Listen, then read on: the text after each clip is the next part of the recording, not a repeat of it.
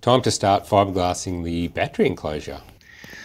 So I've put a layer of 450 weight fiberglass. So plan is I'm not going to fiberglass at all because I'll probably have trouble getting it out as well. I'm going to fiberglass the bottom and maybe just the first bit of the edges. It doesn't go all the way up anyway. So I'll leave a dry bit to join the next bit up there. I won't fiberglass all the way up the top. I'll fiberglass, I don't know, up a bit and so I can get it out. I just got to relieve those corners. And yeah, away we go. First process of the battery box is done. That bottom bit is all wetted out. Wait for it to dry, then pull it out, put it back in and do the rest. Set pretty much, so time to release it. This didn't release as easy as I anticipated. Almost like I made a bed liner. Good way to make a ute bed liner or something. The fiberglass resin had obviously reacted with the Land Rover's infrared absorption type paint.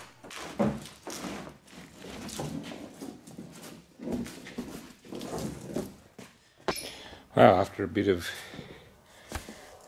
releasing, weirdly it's reacted with um, it must have been resprayed in the back here at some stage, like over the um, the bed rails here, because the original paint hasn't reacted to the fiberglass resin, but the new paint has. different paint, obviously. The bottom bit of the battery box. Uh, so it's a start. So it's good getting that done. So I can put that back in and do more fiberglassing, but I won't have trouble releasing it now. On to step two, three, four, five, and six. I assembled it back into the Land Rover together with the battery so that I could use the actual battery as the mould now. I used some foam as a spacer, then folded up the fiberglass matting uh, before wetting it out and using the rear door to create the mould or the sandwich for the fiberglass. Then I just had to wait for it to harden. Okay, let's peel it open. Slowly. No worries. Formed where it has to be a bit of paint off the thing, that's alright. I painted the other day. So that's the um, bit that I was main clearance bit, but that's fine. It's good. Next step was to assemble all the major penthouse components so I could take some measurements uh, in order to manufacture the front part of the battery box enclosure. Then after removing the battery, uh, I made up um, a quick mould for the front of the battery case. After moulding the front of the battery case, I cut a section out for the charge port wiring which would be uh, located in the back left of the car. The main purpose of the enclosure here is uh, to protect the battery from water ingress mainly. I do do a lot of river crossings in the Land Rover and if you get stuck, the last thing you want is uh, the battery to get wet. Then it was back to penthouse component modification and placement. This is the fast charging DC connector. Tesla uses predominantly aluminium cable for all their high voltage, high current components. The main reason for this is, well, it's cheaper, uh, it's lighter, um, and the disadvantage is it doesn't conduct as well as copper, but you just oversize it to compensate for that. I've got a whole lot of fairly good quality copper cable, so that's what I ended up using. So I've got the charge port wires sorted and I put a bit more heat shrink around the ends Uh, bolts are Loctited through. High voltage interlock, HVIL. And some conduit to extra protection. I'll put some coloured heat shrink to indicate positive and negative. Right, so I've got this, uh, I think it's a choke. It's a big inductor with a ferrite core for the heater. It's either for the heater or the air conditioning. I'm assuming it's for the PTC heater. Anyway, I've got to mount this. This is the original mounting plate. Cut it all down, obviously, and drilled through all the way through with M5, 5 millimeter, and some mounts here. Just going to put a five M5 screws through and I'll put some nylock nuts on the other side. So the high voltage output for the air conditioner compressor and the PTC heater comes out of here. So this is going to mount down here, come through the bottom of the battery box, um, and then this needs to be mounted, well, ideally near it. So it's going to mount here. Got some M6 threaded stuff in here, so this will mount in here. And mount just there. There we go, solid as, totally over engineered, but that's all right. Just need to rewire, this goes under here, that's under there, the ground for the, I'm going to assume it's the air conditioner goes on that side, the main high voltage ground goes up to the negative then this ground for the PTC heater goes to this side so it goes through the inductor. Uh, so I just need to extend actually I don't need to extend that. I'll probably just take that off connect that there make a uh, ground extension through to there and then these two uh, positive high voltage things need to go up to the uh, fuse holder. So that's sort of the next step.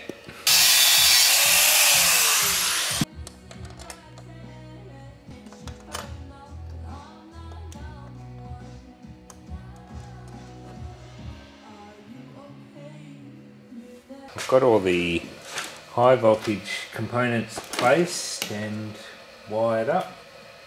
Um, I'm just doing the low voltage control wiring, Pyrofuse squib, the current shunt. Good opportunity to look at the the high voltage interlock system.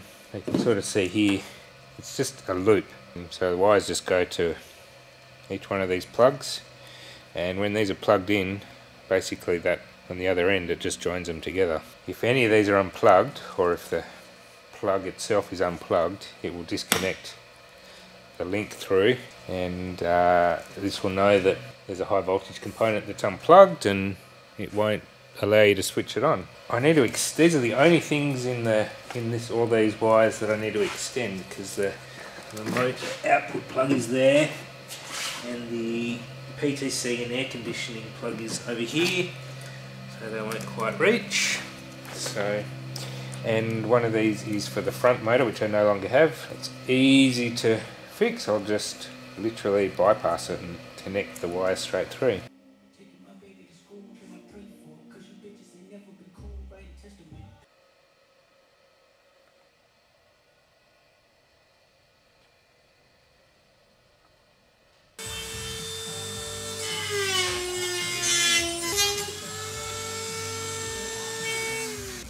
This is the 12 volt outlet from the PCS.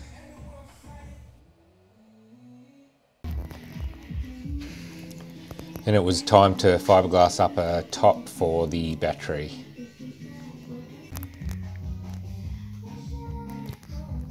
Okay, time to mix up some more fiberglass. So turn the scales on with this on so it zeroes it. Polyester resin. So it's not too cold, so I'm going to put 2% of catalyst in. So it's 1693 2% is 1727. So I'll just fill it until it gets to 1727. And then mix it up. Mixing, mixing, mixing. This is a uh, tongue depressor. Probably won't use it as a tongue depressor after this. Okay, tray, I'm just gonna go.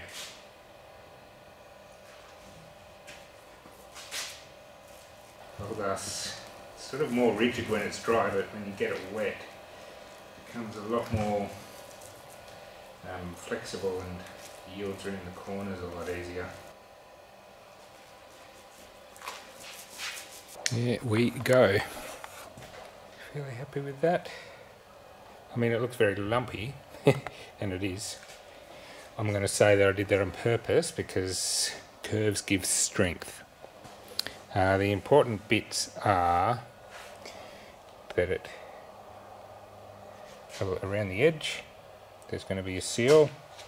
This is a tricky one. This is the 12 volt output. So it's going to seal around there around this corner and then up around there. And high voltage controller actually bolts through and is semi-attached onto the well it is attached onto the lid and the plug for the control for the battery.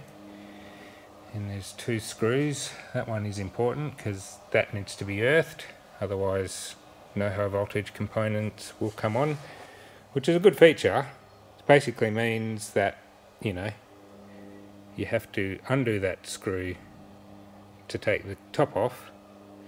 But as soon as you undo that screw I'll have an earth cable to it to the body somewhere um, that means that the high voltage controller can never be powered up, which means the high no high voltage contactors can close, so it's just a safety feature.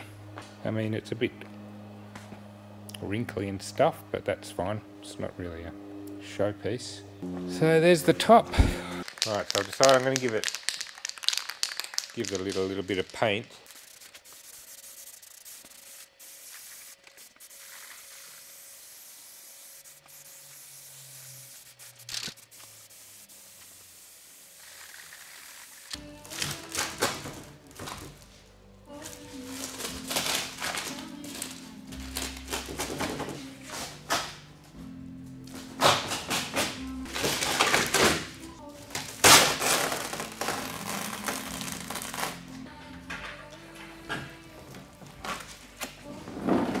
we go, pretty much done.